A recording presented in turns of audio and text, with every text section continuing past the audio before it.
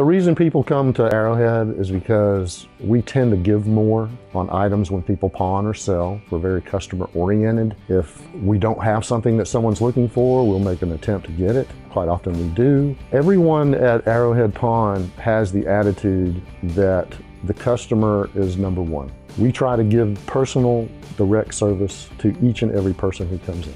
When people come in here, they are so happy with the customer service that we give, and we try to make everyone happy. We work at it. We are that focused on customer service. That's why people come here, because we do take care of them.